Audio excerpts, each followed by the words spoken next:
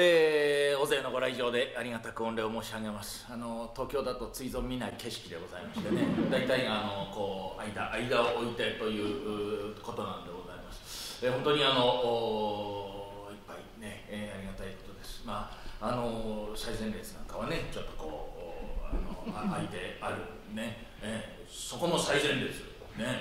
開ける距離か？みたいなことは思いますけれども、まあまあ、あいろいろやはり事情はあるんでございましょう。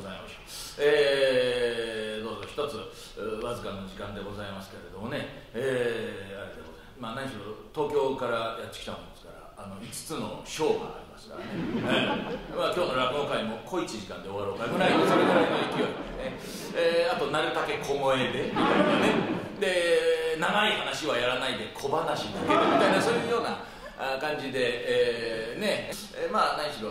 ね、えー、そういうようなあ世の中になってしまいましたんで今日もお客様方ねお入りになるとか、えー、私どももあの同じところからこの能楽堂は出入りをさせていただきますんで、えー、ありますよあの入り口のところにねあのこう白いカメラがこう構えてで自分の顔が映されてね、え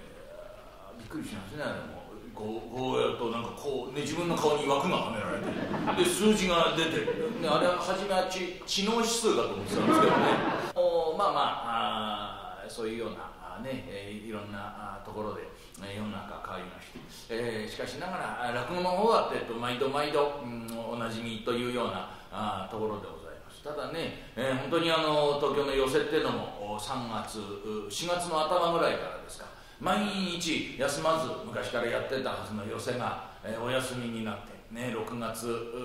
の、まあ、頭とかあるいは7月ぐらいから徐々に、えー、また再開したんですけどね。まあまああ大変なかなか、うん、厄介な世の中では早くね、えー、こう心置きなく、うん、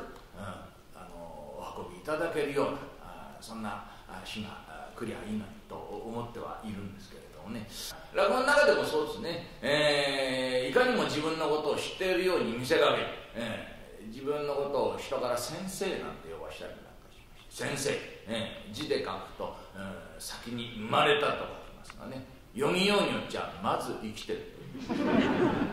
まあ話の中の先生っていうのはねまず生きてると、うん、そんなところが多いようでございますけど。こんにちは。先生こんにちは。おお誰かと思えば愚者ではないか久しぶりだな愚者。上がんなさい愚者。こっちへ来たまい愚者。座りなさい愚者。何か用か愚者。踏んづけてるみたいですね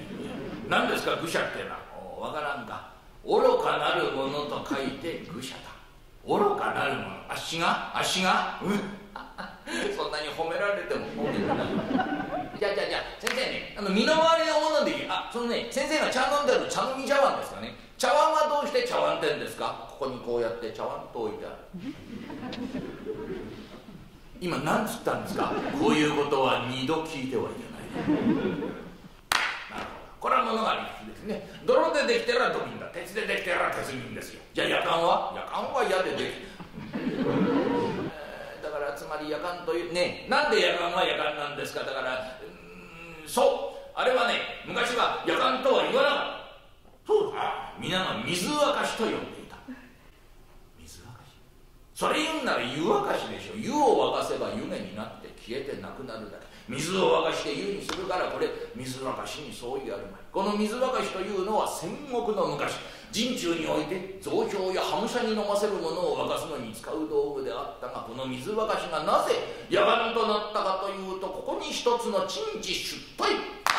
頃は永禄4年8月中の5日甲府八花形の総大将清和天皇六代源頼義の三男新羅三郎義満の着手行部三郎義清より十七代の行員武田左京の太夫信虎の長男海源氏の棟梁たる武田大前の太夫兼信濃の神源の和尊春信入道発祥院伝大総長京都特営兼記者信玄第五次対するは関東の官僚のとひだ連中越後佐渡ではこう付け四角な旗頭越後の国春日山の長寿上杉照虎入道伏木庵天心信仰終身大矢じゃり。